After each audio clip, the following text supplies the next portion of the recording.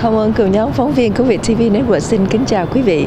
Kính thưa quý vị, hôm nay ngày 19 tháng 10 năm 2022, chúng tôi có một cuộc nói chuyện với nhân viên của quận Hạt à, về vấn đề cái con số thống kê khi mà Covid ảnh hưởng tới tuổi thọ của người dân ở nước Mỹ như thế nào. Và ngay bây giờ xin kính mời quý vị lắng nghe một số thông tin chi tiết như sau. Theo một nghiên cứu gần đây của cơ quan CDC thì à, nghiên cứu này cho thấy là tuổi thọ trung bình của người dân tại Hoa Kỳ đã bị giảm bớt rất nhiều sau cái à, cuộc đại dịch vừa qua và hiện nay cái tuổi thọ trung bình của người Hoa Kỳ nói chung là đã giảm hết 2.7 à, ờ, năm cho tổng số cư dân tại Hoa Kỳ.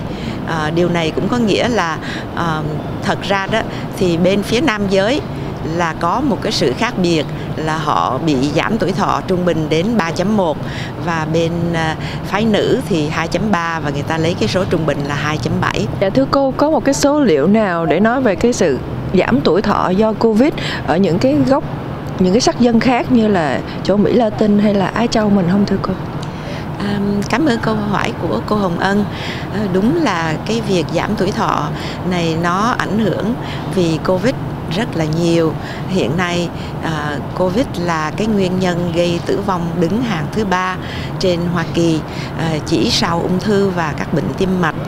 Vì vậy à, những cái sắc dân thiểu số dĩ nhiên là cũng bị ảnh hưởng rất là nhiều.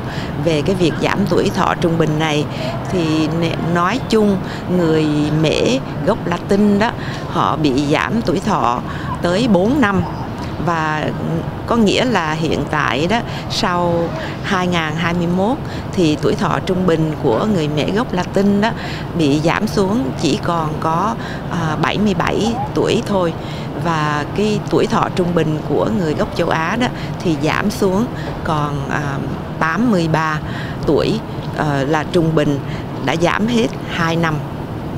Vậy là có sự chênh lệch giữa người gốc Mỹ Latin so với cái mức trung bình là họ bị giảm nhiều hơn. Còn Á Châu mình thì cũng giảm mà giảm ít hơn đó thưa cô. Dạ, đúng là như vậy. À, người mẹ gốc Latin đó cái tuổi thọ trung bình của họ giảm chỉ đứng sau cái người à, Mỹ da đỏ bản địa mà thôi. Thật ra là họ bị giảm rất là nhiều họ giảm tới 4 năm trung bình lận. Dạ thưa cô vậy thì à, có một cái phương cách nào để có thể giúp cho cái vấn đề mà giảm cái tuổi thọ này đỡ hơn không thưa cô? Cái việc mà làm uh, tăng tuổi thọ là làm cái vấn đề rất là phức tạp.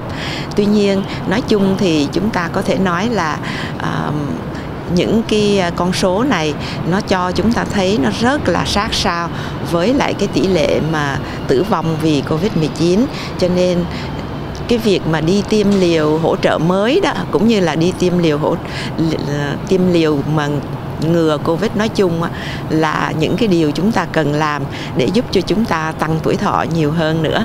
Kính thưa quý vị, vừa rồi là con số thống kê mà tình hình dịch bệnh Covid đã ảnh hưởng tới tuổi thọ của người dân như thế nào. Và qua đó quý vị sẽ thấy là mình đi tiêm ngừa nó quan trọng ra sao. Cảm ơn quý vị đã theo dõi phóng sự của chúng tôi và hẹn gặp lại quý vị trong những chương trình phóng sự lần tới.